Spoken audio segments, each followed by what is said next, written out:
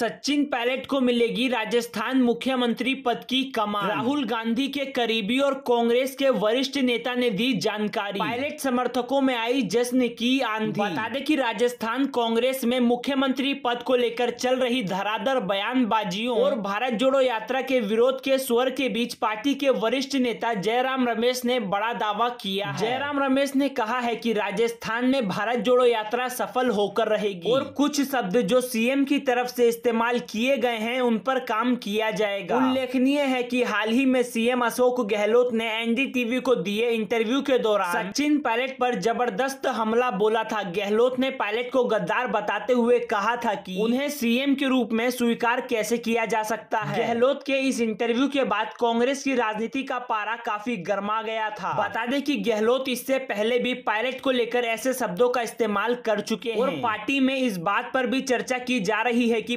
25 सितंबर को हुए high profile सियासी ड्रामे के बाद संगठन ने एक दूसरे पर बेफजूल की बयानबाजी नहीं करने को लेकर एडवाइजरी जारी की लेकिन पार्टी के वरिष्ठ नेता सीएम अशोक गहलोत ने उसको भी तोड़ दिया। और इसके बाद जयराम रमेश ने बोला कि कांग्रेस अलकमान इस पर जल्द ही फैसला लेगा। उनतीस तारीख को राजस्थान कांग्रेस कमेटी की बैठक होगी उसके बाद फैसला निकल कर आएगा। कि अलकमान किसके पक्ष में है? कौन होगा राजस्थान का अगला मुख्यमंत्री? सीएम अशोक गहलोत ही रहेंगे या सचिन पायलट बनेंगे?